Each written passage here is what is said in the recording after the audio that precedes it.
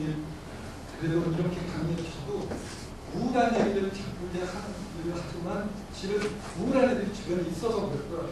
우울한 애들 들으다 보면 선생님도 어 힘들고 우울해요. 그래서 저는 이제 수업 끝나면 늘 산으로 갑니다.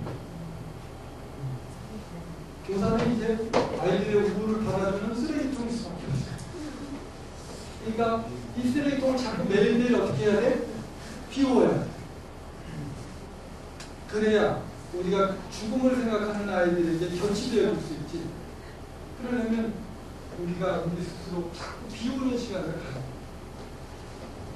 괜히 점심 먹고 컴퓨터 앞에 앉아있지 맞아. 대한민국 교사들이요. 점심 먹으면 다 나가서 햇볕 출퇴나. 당신들이 휴지통을 다 비워놔야 오후에 또 들어가서 애들이 우울하고 그럴 때 그 화를 또 받아줄 수 있고